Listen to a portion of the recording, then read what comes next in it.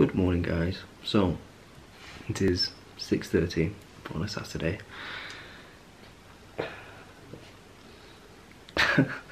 and we are up with little man. Um, yeah, Gary's asleep, gone trying to sleep.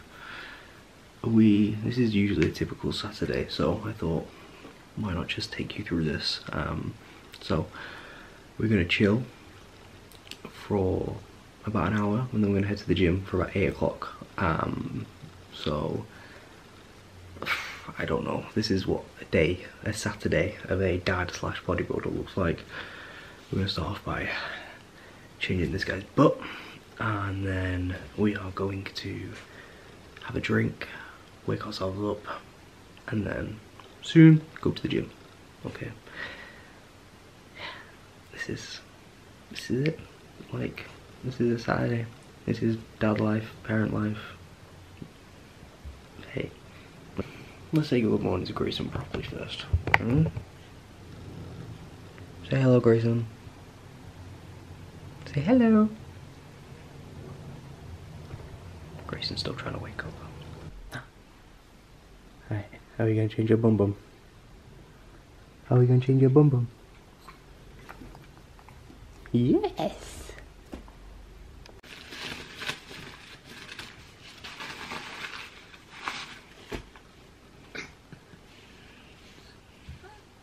Buddy. Oh, massive. It's full as hell.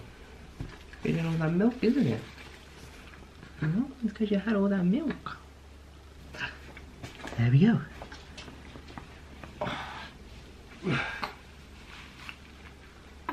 One clean baby. You're in a happy mood now, aren't you? he's not, he's not interested.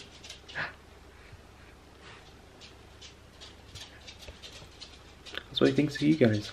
Okay, so quick update. I'm not going to the gym now.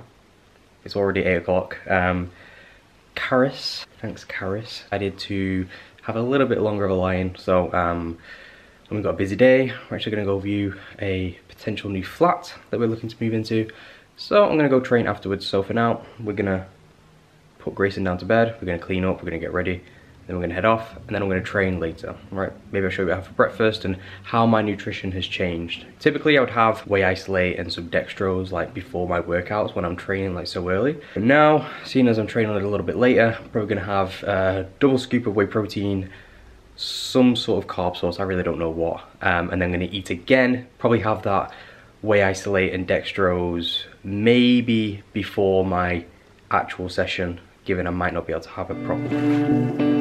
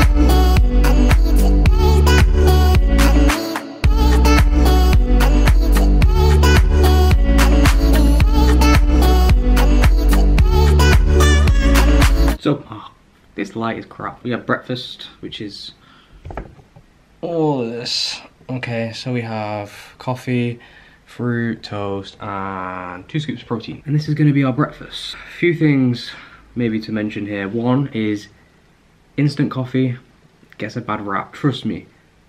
Instant coffee is fine, right? Fruit, we're just trying to get more fiber in throughout the day. It's something I've lacked for a long time. So this is about equivalent to about two to three portions of fruit which is going to be good. Toast, obviously for carbs, and then two scoops of protein for a nice big chunk in the old protein synthesis early in the morning. Again, something I'm struggling to get in is more protein. Um, my diet right now has me aiming for 220 grams of protein. is about 50 grams right here. It's gonna make the rest of the day a lot easier by having this relatively early, okay? So yeah, so unplanned breakfast, supposed to be in the gym, but hey, things change. I think one thing about being a bodybuilder and a dad is you just have to roll with the punches, right? You have to you have to be flexible uh, in how you approach things. I think the more rigid you are, the more stressed it's going to be. So we take a bit more flexibility in our approach. So, which isn't too bad, right? I get to train later on in the day, which means I have more energy, better workout. So you've got to find the positives in this situation.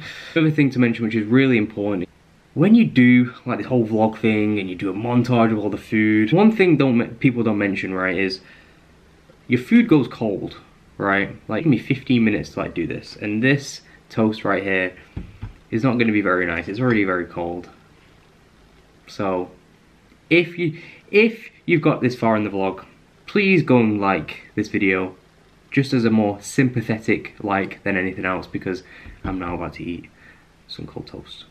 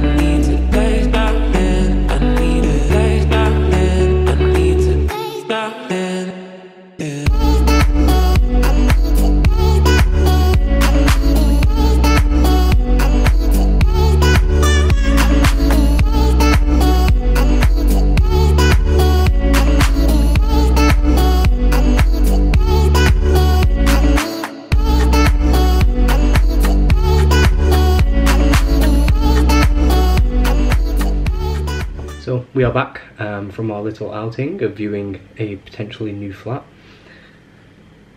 More on that maybe in the future, but for now we are about to head off to the gym. Um, I'm not actually eating anything since breakfast, so we're going to have a quick sort of pre slash during shake-ish. Um, so what we've got is the clear whey isolate from Myprotein. So this is really good because it's not it's like a juice more so than a milkshake um, and the fact that it's isolate digests a bit quicker so it's something that I can have relatively close to workouts without experiencing some any digestion issues or starting to feel sick.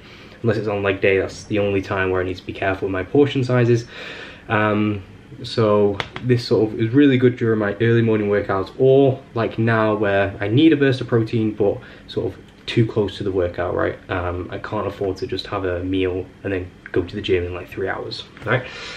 For carbs, 100% glucose, we're gonna have about 20 grams of that, and then we're gonna add some beta alanine, about three grams. Um, purpose for this, probably not gonna do much, but it can sometimes be useful during sort of high repetition sets. Um, and to be honest, it was cheap. I just take it just in case, but to be honest, I've not really experienced any any major benefit. So this one I can usually live without, but the other two are probably going to help me quite a bit during this workout. So let's go.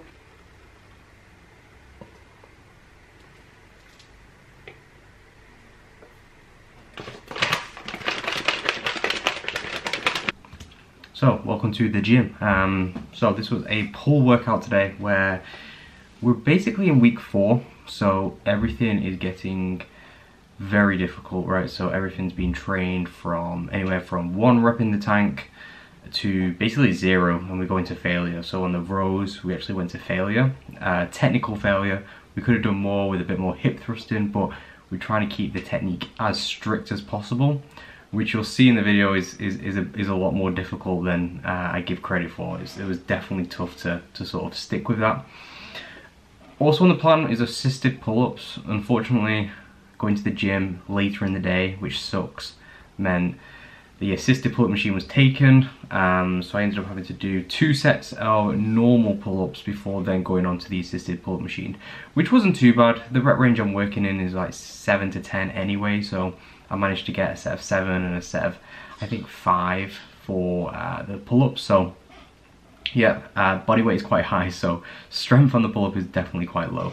Uh, and then we moved on to higher reps on the machine row, which was tough, right? So I'm actually filming this the next day, and my back is actually really sore, which is um, which isn't too bad of a sign. But again, if you just look around the background of the gym, you'll see just how busy it is, um, and that just goes to show like how much I'm I prefer training first thing in the morning. Yes, you got a little bit less food in you, but man, having an emptier gym, or even when the people are in the gym, it's usually familiar faces. You never really have to worry about bloody what machine to get on and all that good stuff. So definitely prefer training earlier in the morning. But anyway, yeah, we uh, we did back and then we moved on to biceps. Uh, just four sets of curls here.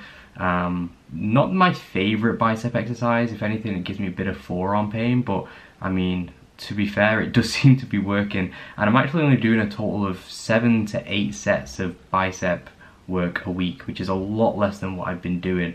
Um, but you know what? Like, it's still been paying off. Like, I've, I've, I've been very surprised at sort of the the amount of work I can still get done in just that little little few sets. So um, yeah, definitely getting more out of less with uh, with some of my workouts and putting more energy into the the compound lift. So maybe I'll do a video sort of walking you through my plan and uh, the plan me and my coach agreed, uh, which I may also go into a bit more detail next uh, next video as well. Once we did the curls, we then just finally finished off on dumbbell upright rows. Uh, I think at the beginning of this mesocycle, I was doing EZ bar upright rows, but you know what, the wrist pain and the connection just wasn't that great, so we agreed to sort of switch it out to the dumbbell row, which looks better and definitely feels better as well.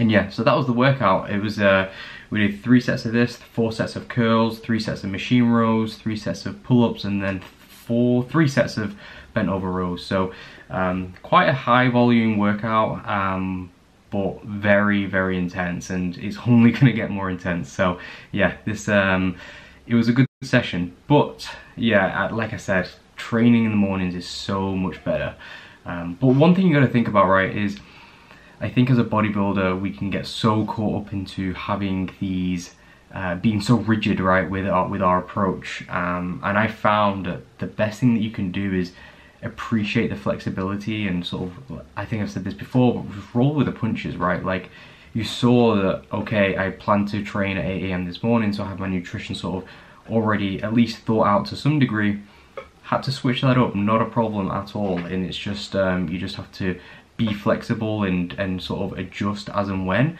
Um, because to be honest you're not going to get far in this uh, over the course of 5 10 15 years if you just simply stick to a strict schedule all the time right? You've got to you've got to have some degree of flexibility. And to be honest don't stress too much when when things change right? You're still going to get the workouts done as long as you get the food in as long as you get your calories in you're covering off 90% of it right so worry about that before you start stressing over the the intricacy of the details um but yeah guys like when you're when you work full time when you have a family and you still want to bodybuild, you've got to have some flexibility, right? So don't don't stress too much, focus on the basics, and you'll be just fine. Alright, that's where we're going to cap off this video. So if you liked it, this this was a very crap video, I'm to admit it right now. So if you made it this far, please give it a like, just out of sympathy. Uh, I'm to make the next video probably, hopefully a little bit better, a little bit more structured, a little bit nicely flowing. So, um, but yeah, appreciate you watching,